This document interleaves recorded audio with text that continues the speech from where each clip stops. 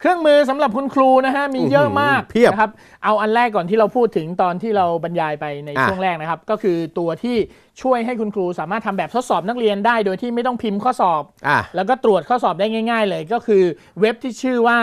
plisker.com ไอตัวที่ถือกระดานแล้วก็หมุนบิดไปบิดมานะครับอ่าคือในตัวเว็บเนี่ยเขาก็จะมีแบบของไอ้ตัวป้ายตอบคำถามอะให้ครูเอาไปปริ้นนะฮะอืมเสร็จแล้วตามไปโหลดแอปครับ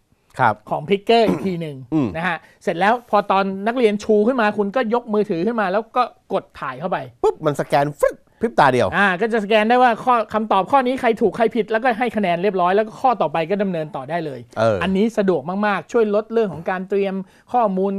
กระกระดาษข้อสอบคำตอบตรวจคำตอบทำได้เสร็จภายในช่วงเวลาเดียว เว็บที่ 2 คือ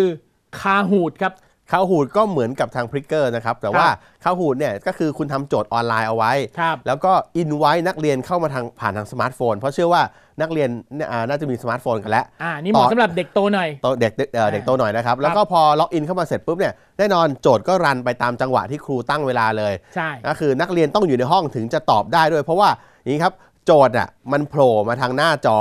ของครูหน้าจอของครู ส่วนคำตอบอะมันจะโผล่มาทางมือถือเรามือถือ ดังนั้นคุณต้องกดให้ถูกไม่งั้นคือ ไม่สามารถงุบงิบทำข้อสอบจากที่อื่นได้ ใช่ นั่นแหละครับฮแล้วมันมีตัวแปรเรื่องของเวลามาด้วย ใช่ ก็คือคำตอบที่โตที่ถูกต้องเนี่ยอืมได้คะแนนไม่เท่ากัน ครับ คนที่ตอบก่อนได้คะแนนเยอะกว่า เออเนี่ยมันใช่ก็จะมัทำนให้การแข่งขันเนี่ยมันมีขึ้นท้าไปเลทายยมากขึ้นโอ้โหมันใครใครตอบเร็วใครพลาดข้อเดียว หรือตอบช้าไปนิดนึงนะครับ อาจจะแพ้ไปเลยก็ได้โอ้นะฮะอันนี้ Kahoot นี่คือสนุกมากนะครับ ปิดท้ายด้วย Google Classroom ครับผมอ่าซึ่งอันเนี้ย Google Classroom จริงๆ หลายคนงงว่ามันคืออะไร มันไม่ได้เป็นแอปพลิเคชันเฉพาะแต่จริง ๆ มันคือการดึงเอา